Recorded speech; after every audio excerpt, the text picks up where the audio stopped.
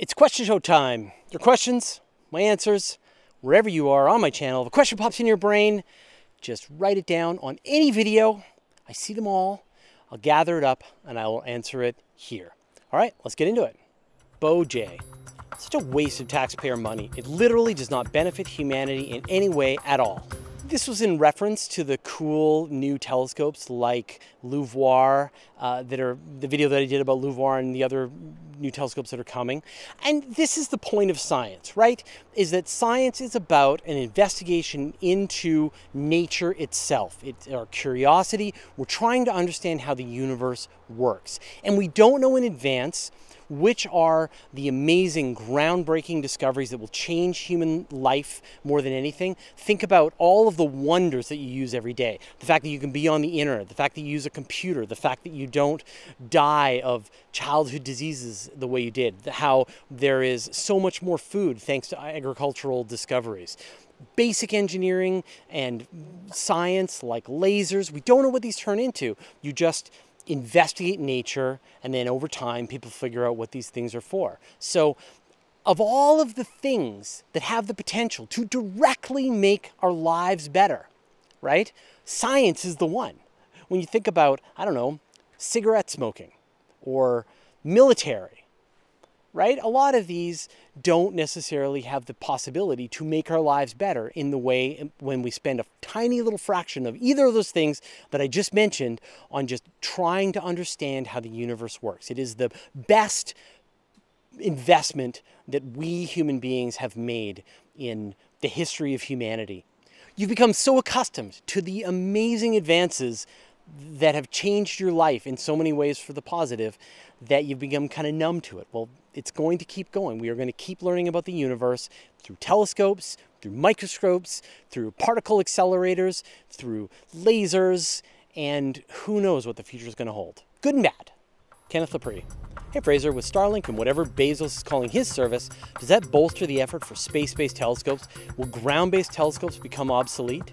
I don't envision ground-based telescopes ever becoming obsolete. There's a ton of advantages to using a ground-based telescope. And the biggest one is the fact that the telescope is on the ground, right? Where we are. And so you can work on the telescope, you can upgrade it, you can maintain it, you can if there's a problem with it, you can fix it, and you can do that without having to wear a spacesuit, without having to send an expensive mission to space to be able to repair it. There is tremendous value to having space telescopes. In some cases, there are certain wavelengths of light, like X-rays and certain versions of, of infrared that can only be seen from space. And there are lots of other advantages too, but I don't think we'll ever get to a point where we don't use ground-based telescopes. In fact, engineers have been developing really some of the most incredible advances in interferometry to be able to merge telescopes together, in adaptive optics to be able to minimize the effect of the atmosphere to make ground telescopes ever more powerful. When you look at the budgets of some of these gigantic ground telescopes, they only cost only less than a billion dollars, while space telescopes cost much more than a billion dollars to even get them up into space, and they have a shorter lifespan. So no, ground-based telescopes forever. But I mean, astronomers will take space-based telescopes too. Why, why choose? Tom Adv.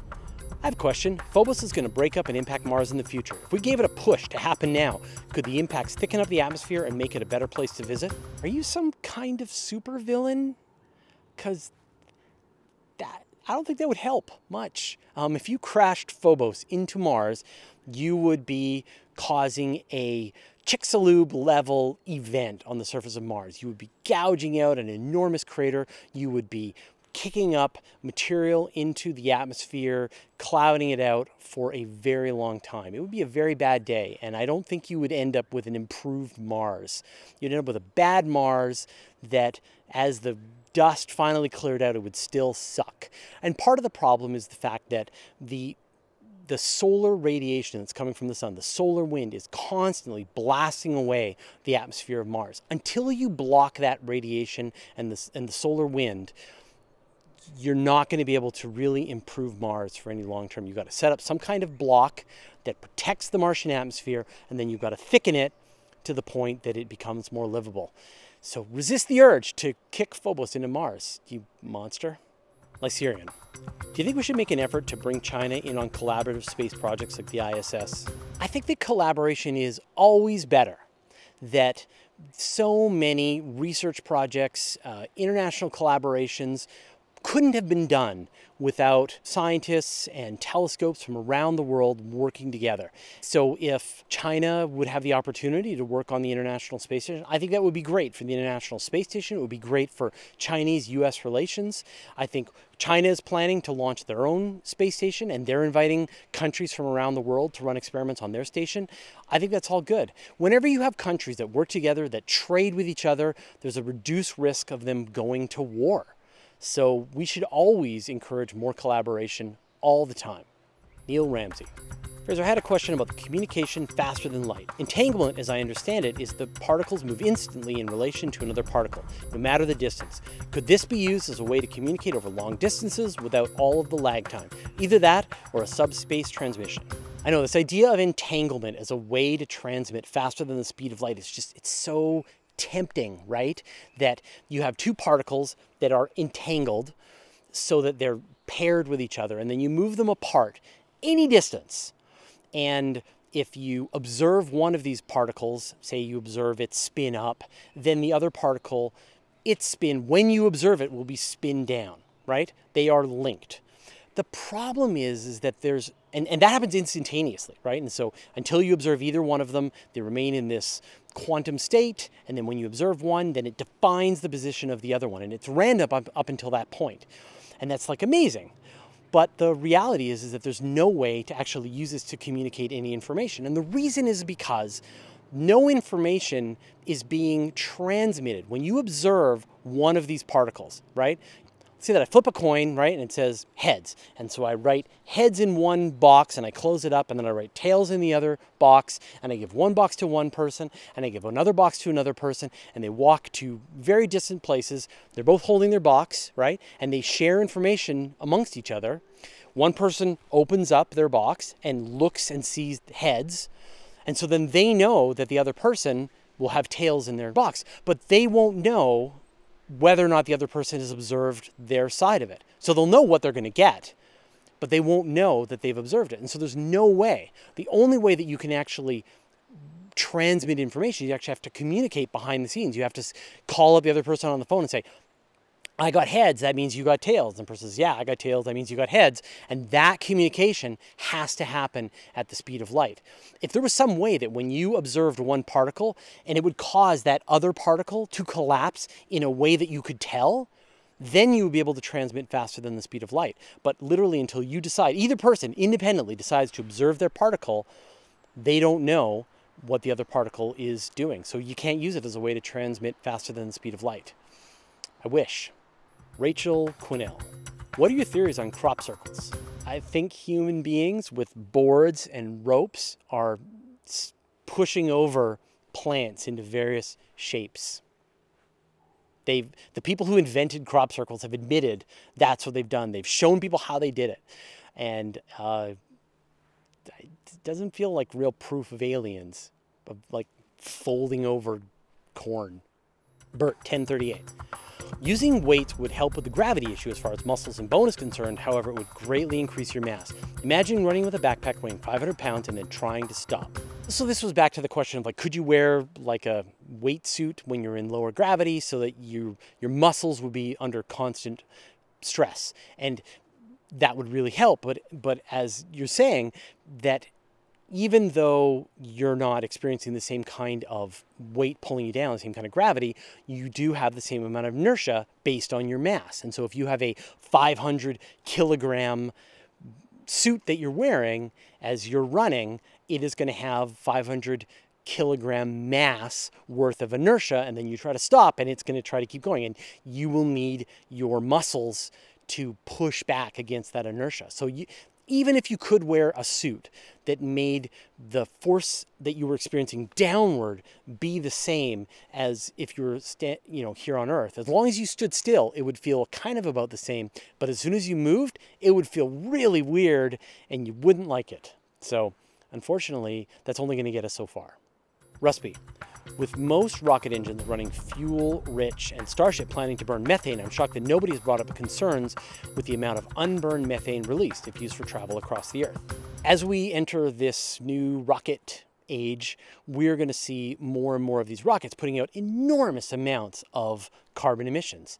The cool thing about the Starship is that it runs on methane. And in fact, the methane, the plan is for it to be produced directly out of the atmosphere. So there is this process where you can pull in carbon dioxide out of the atmosphere, use water, and produce methane.